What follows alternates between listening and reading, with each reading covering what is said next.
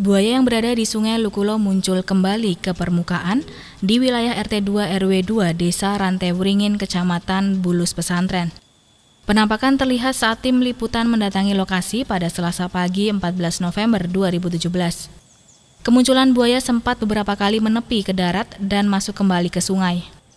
Menurut keterangan salah satu warga setempat, semenjak beberapa bulan terakhir buaya memang jarang terlihat. Namun setelah musim hujan, kini buaya berukuran 4 hingga 5 meter sering muncul kembali setiap harinya.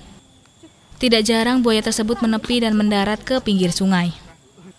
Meski belum pernah naik ke pemukiman warga, namun warga tetap merasa sedikit ada kekhawatiran jika buaya tersebut memakan hewan ternak warga. Warga menuturkan jika semenjak kemunculan buaya, tidak sedikit warga yang berprofesi sebagai penambang pasir terpaksa berhenti karena takut dengan keberadaan buaya tersebut. Akibatnya, kini lokasi di seputaran sungai tampak sepi tanpa aktivitas warga. Ada berapa ekor bu yang sering muncul di sini? Kalau yang kecil ada, mungkin itu anaknya loh. Anaknya, ada, Bu, ya? iya, ya khawatir ya juga iya, tapi ya gimana lagi, bang, udah, uh, udah rumahnya di sini lah ya. Moga-moga ya nggak nggak anu lah nggak ada kejadian yang Para warga berharap adanya kepedulian dari pihak terkait dengan adanya kemunculan buaya.